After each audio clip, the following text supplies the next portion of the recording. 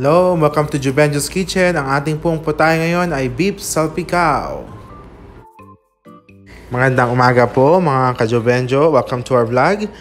Ang gagawin po nating imputahe ay beef salpicao. Napakadali po at napaka-easy uh, i-prepare. Hihiwain po natin ang beef ng into cubes at imamarinate po natin ito maya-maya lamang. Pagkatapos po hiwain ang ating karne na into cubes, ngayon po i-marinate natin ito sa soy sauce. Siguro po itong dami ng karne ko, mga 3 tablespoon po ito ng soy sauce ang ilalagay ko. Depende po yan sa dami ng inyong karne. Next po, ang ating pepper o paminta. Depende rin po yan sa dami ng inyong karne.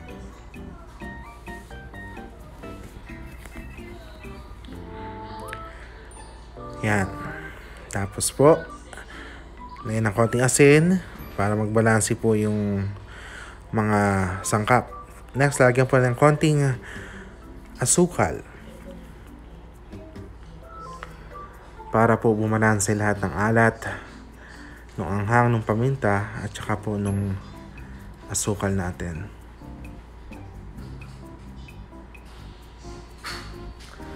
Mga 2 teaspoon po ang linagay ko doon sa karne. Ito yung sa pinaka madaling gawin na ulam ang beef salpicao. Ngayon po, i-marinate natin, halu-haluin para po mag-incorporate lahat ng ingredients. Halo po lang halo. Tapos i-set aside po natin ito kasi uh, ipili natin muna ang bawang sa kawali. Yan po. Set aside natin.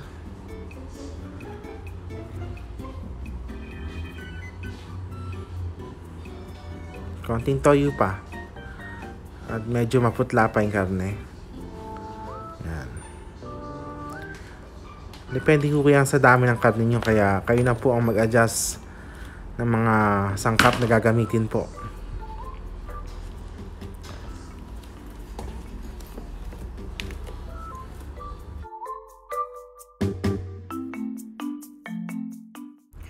Pagkatapos po natin i-marinate ang karne ng baka, kukuha po tayo ng kawali. Dahil ipipito po natin yung bawang.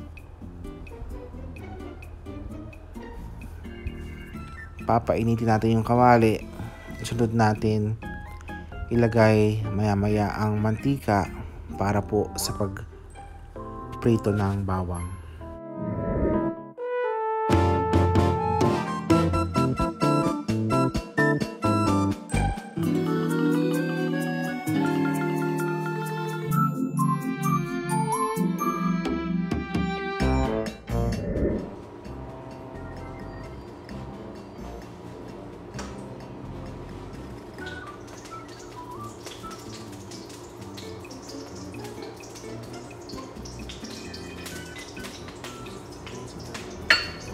Ayan po, mainit na po ang kawali at mantika. Ilalagay na po natin yung ating uh, bawang at uh, ready na po natin ilagay sa ating mantika.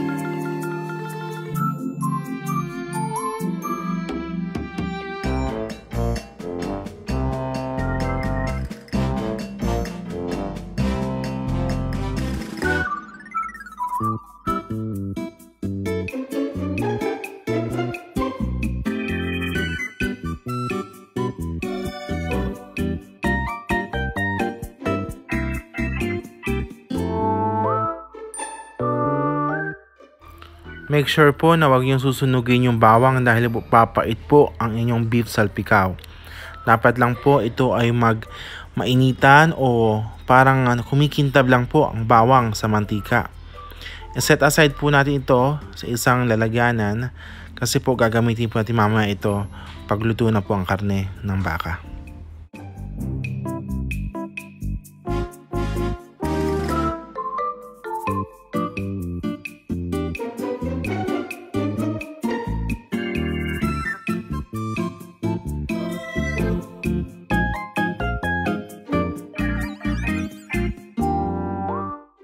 Ngayon po, ang karne na minarinate natin ang isusunod natin.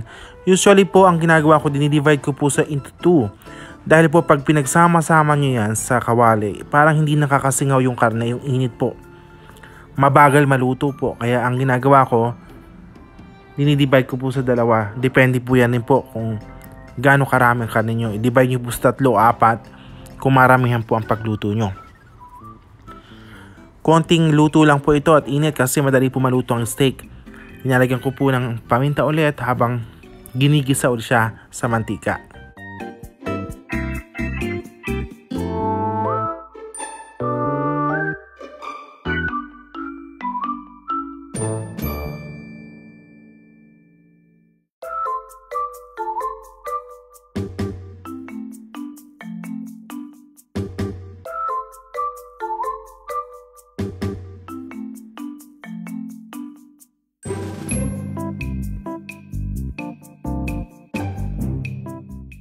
Pag nawawala na po yung sabaw minsan kasi nagka-caramelize na po yung ating sauce, linalagyan ko po yun ng konting mantika para hindi po masunog.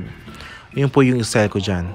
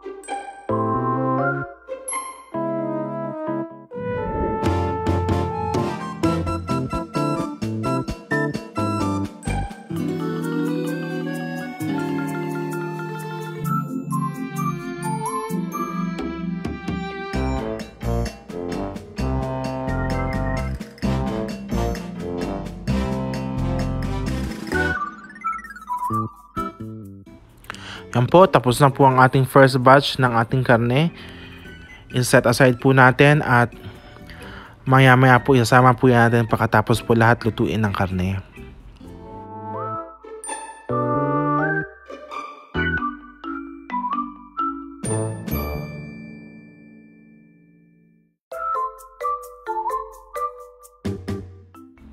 Yan po, nailagay na po natin lahat ng ating first batch sa isang plato. Ngayon po, magdadagdag po ako ng oil kasi medyo natuyo na po ang ating kawali at wala na po itong sauce at mantika. Naglaglag po ako ulit para po sa ating last batch ng ating karne.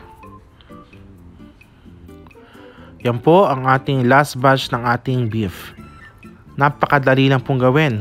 Prito lang po lahat at pagsamasamahin meron na po kayong beef salpicao na napaka-easy gawin.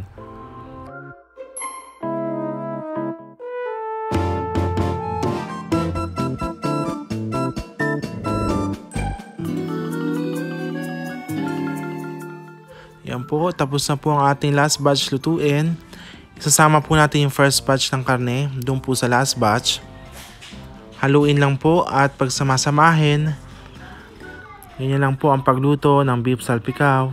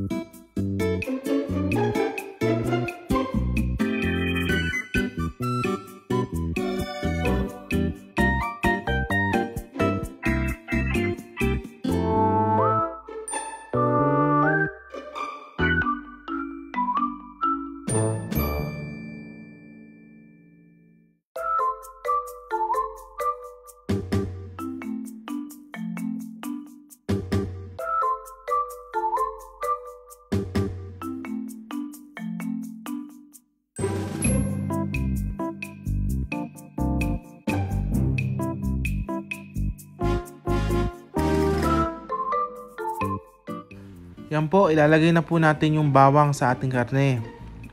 Napakadali lang po lutuin itong ating dish ngayon.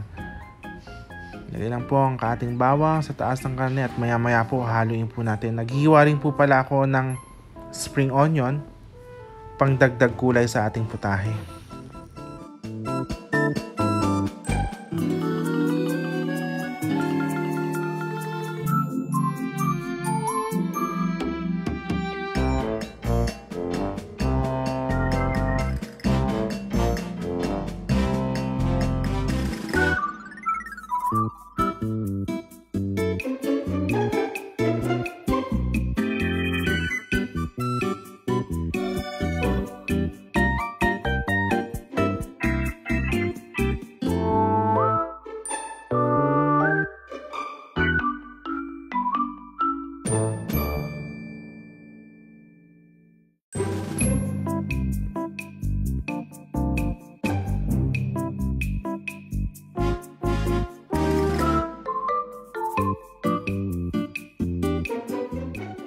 Yan po, malapit na po matapos ang ating beef salpikaw.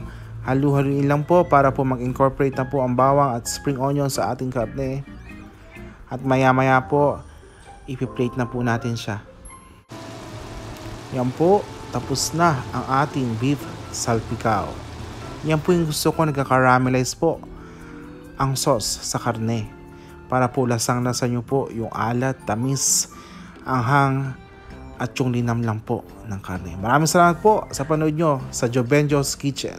God bless and stay safe everyone.